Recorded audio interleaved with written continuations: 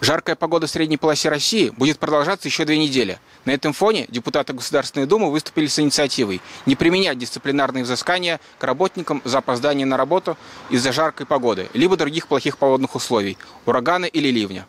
Соответствующие изменения предлагается внести в Трудовой кодекс. Мы узнали, что думают саровчане об этой инициативе законотворцев. Ну, я считаю, что это очень нужное и, в общем-то, полезное решение, поскольку в жизни это просто называется форс-мажор. То есть есть неопределимые э, обстоятельства, которые, в общем-то, должны способствовать принятию правильных решений. Я думаю, что это вовремя и правильное решение. Правильно, конечно. Тем более с такой погодой. Вообще говорят, что выше там 35 даже разрешается э, на работу не выходить.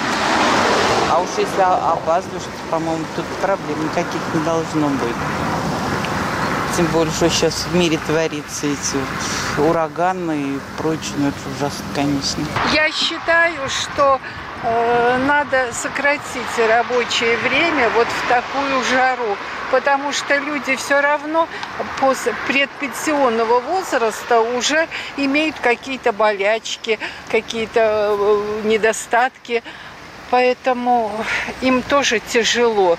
Но молодежь еще как-то справляется, а тем, кому 50 лет, уже тяжело. То есть рабочий день с 8 начинается, то есть как бы есть установленный график который нужно придерживаться. То есть с 8, значит, с 8, к 9, значит, 9. То есть, как бы, соответственно, я думаю, все люди должны соблюдать это. Я считаю, что инициатива хорошая, можно ее поддержать и не штрафовать, и не выгонять сотрудников с работы. Погодные условия, они вредят. Иногда, маш... Иногда машины скользят, проворачивают.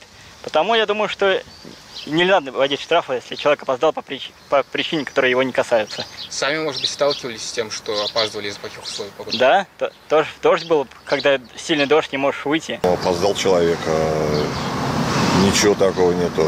Считаю неправильно это. Неэтично и некорректно. То есть вы считаете инициатива бесполезной? Да, конечно. Глупость натуральная.